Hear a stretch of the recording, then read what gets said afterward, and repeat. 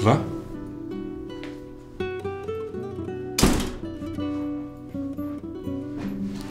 İyi ki geldin Mehmet. Seninle vedalaşmadan gitmek istemiyordum ben de. Ne vedası? Nereye gidiyorsun ki? Ben İstanbul'a gidiyorum Mehmet. Sana mektup bırakmıştım. Veda mektubu. Ne diyorsun sen Sıla?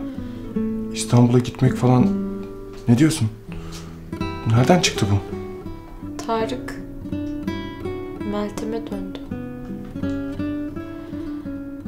Mehmet, ben buna dayanamam.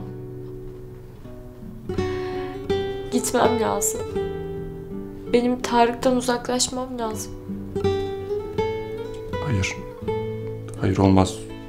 Olmaz Sıla izin vermem gitmene. Mehmet. Mehmet yapma. Zaten Tarık'tan ayrılmam, şehirden çıkıp gitmem yeterince zor. Ölümden beter benim için. Bir de sen bana bunu yapma.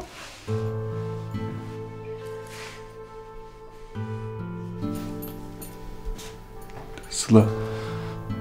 Mehmet. Çok sağ ol. Sen benim çok kahrımı çektin. Evini açtın, kol kanat gerdin. Kimsenin yapmayacağını yaptın sen bana.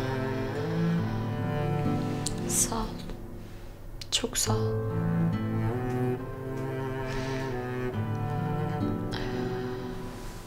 Hadi.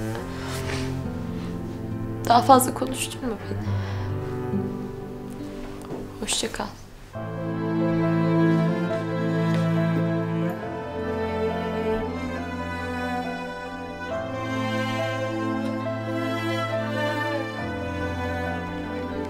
Sıla gitme.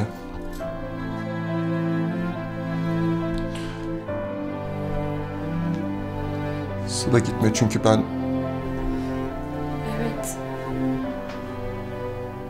Sen benim hiç olmayan kardeşim oldun.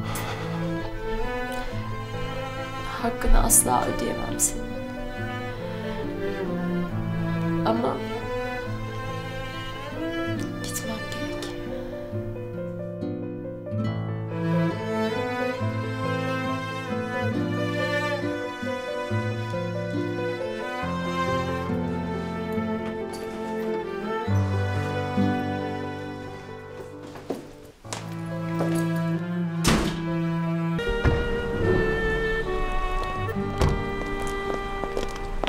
Sıla.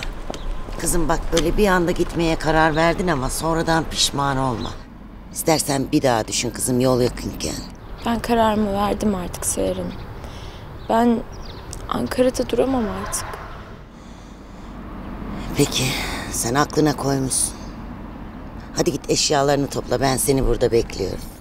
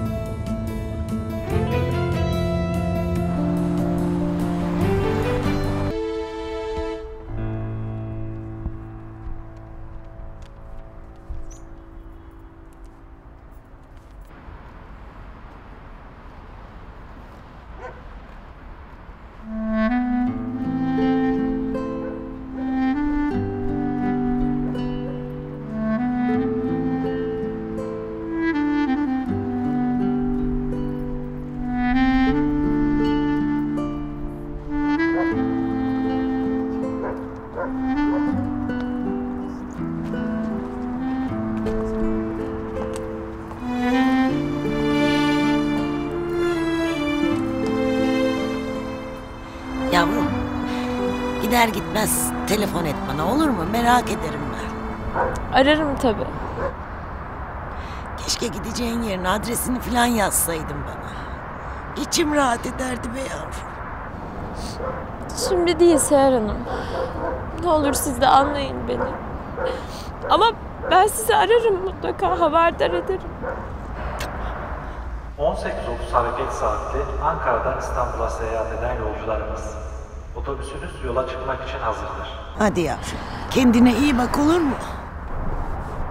Ben artık siz de kendinize çok iyi bakın. Tamam kızım.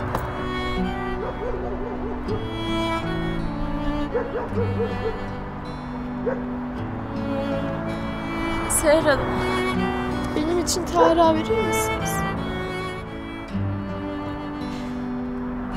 Tabii veririm kızım. Hadi biz. Hoşçakalın. Güle güle yavrum.